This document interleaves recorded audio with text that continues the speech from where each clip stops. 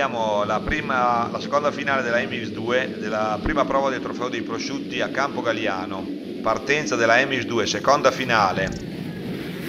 Uh, caduta, caduta, ma come quasi sempre speriamo senza conseguenze.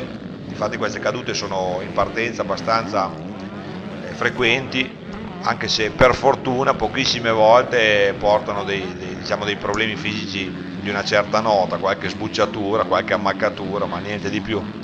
Questo dimostra che anche nel motocross la sicurezza è migliorata parecchio.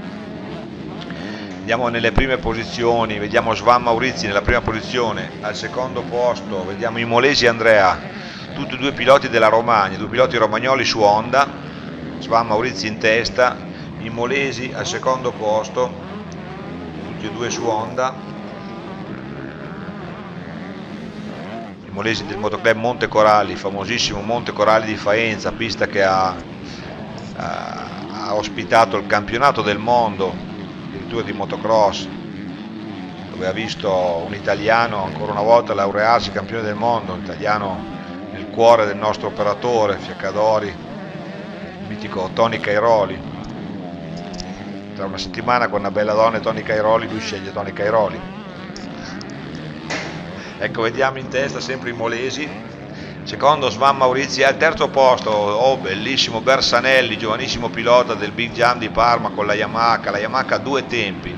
In questa cilindrata vediamo che su questa pista questi ragazzini terribili con la due tempi stanno castigando un po' i, diciamo, i piloti della 4 infatti vediamo che ha superato con una manovra bellissima ha superato Joan Maurizi intanto al primo posto sempre i Molesi sempre i Molesi del Monte Coralli con la Honda.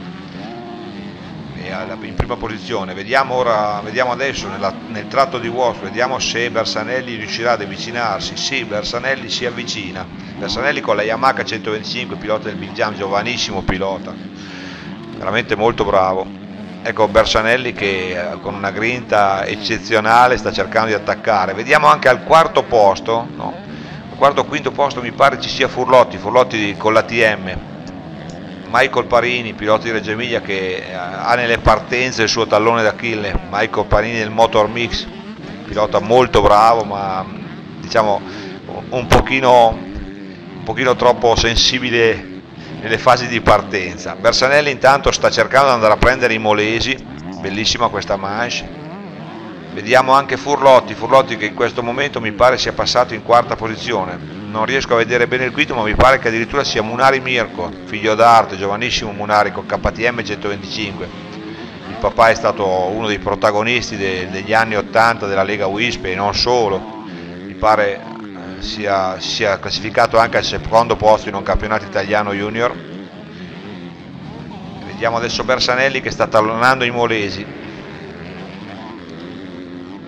Sempre Michael Parini che cerca di rimontare da una partenza non delle migliori. Credo che tra qualche attimo Bersanelli cercherà... Ecco l'attacco di Bersanelli non riuscito, bravissimo Bersanelli. È molto, è molto difficile vedere una manche di questo genere, cioè una due tempi che sembra addirittura avere una certa superiorità su una 4 Bersanelli passa bravissimo bellissimo il sorpasso pulito in una pista indoor una pista come Campo Gagliano non è sempre facile. Quando ti trovi davanti un pilota che ti chiude la traiettoria migliore diventa difficile. Bersanelli al primo posto Imolesi al secondo sempre Bersanelli in testa. Non credo, non credo, credo che abbia 16-17 anni questo ragazzo veramente bravo ha forse ancora la possibilità di, di arrivare a dei livelli ben più alti. È uno dei pochi emiliani che vedo con questa convinzione. Ecco Furlotti, bravissimo Furlotti al secondo posto, Furlotti con l'ATM del team, mi pare sia del team FM, FM Racing, anche questo è un figlio d'arte, il padre correva negli anni 80, forse non con i risultati di Munari, ma comunque era sempre un pilota a livello nazionale. Sozzi, Sozzi altro pilota di Salso Maggiore, penso, della zona di Parma, comunque Sozzi con la Suzuki quattro tempi, sempre tra i protagonisti. Questi ragazzi tutti giovanissimi, l'età media credo che non, non arrivi ai 18 anni. Ecco intanto Versanelli che ha preso un bel vantaggio e al secondo posto, bravissimo Furlotti, guida molto bene con l'italiana TM moto secondo me bellissima. Ecco sempre in testa Bersanelli con una Yamaha. Tra l'altro la TM continua a sviluppare questo due tempi che adesso ha una valvola elettronica mentre la Yamaha ha fermato il suo sviluppo al 2005 in testa Bersanelli che taglia il traguardo in prima posizione. Secondo Furlotti.